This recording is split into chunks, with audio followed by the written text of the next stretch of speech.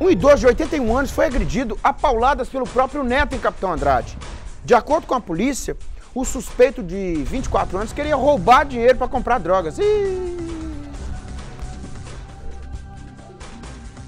A gente quase não ouve aquela expressão, benção, avô. Não ouve mais isso, benção, avô. Minha filha está ensinando meu neto, benção, avô. Avô é instituição sagrada. Ê, Miguel, nesse caso aí não foi não, né? Agrediu o próprio avô? Boa tarde.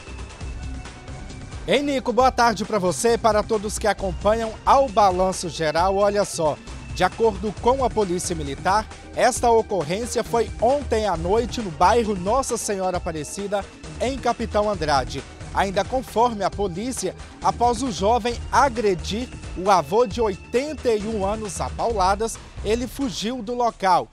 Durante os trabalhos, né, para encontrar este homem, a polícia foi informada de que ele estava na casa dele.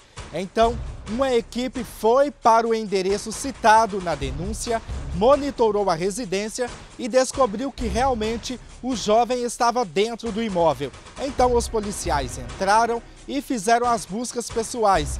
Com o jovem, foram encontrados 221 reais em dinheiro. Este dinheiro seria furto do roubo né, que ele cometeu contra o avô. Ele foi preso em flagrante, encaminhado para um hospital para uma avaliação médica e, em seguida, para a delegacia de polícia civil. A polícia militar informou que o jovem já possui passagens por tráfico de drogas e também por furtos. Já em relação ao idoso, ele foi encaminhado para uma unidade de saúde de Capitão Andrade. A polícia foi para o posto na tentativa de colher a versão da vítima. Porém, ela já havia sido transferida para um hospital de Governador Valadares. Segundo, segundo informações, o idoso sofreu uma fratura na mandíbula, cortes na cabeça e vários hematomas em certas partes do corpo. Nico, eu volto com você.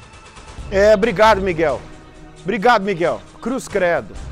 Cruz Credo. O Henrique esteve lá em casa ontem, Jarão. Foi lá ontem. Comeu um pedacinho de broto e tomou um cafezinho. Aí eu saí para buscar lá uma coisa que tava precisando dar para ele de presente. Fui comprar uns trem que ele gosta lá, aquele polenguinho.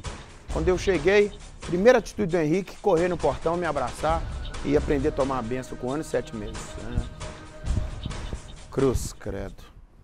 O sujeito agrediu o próprio avô. É muito covarde, né? É muito covarde. Ah, ele estava drogado. É, sei como é que é.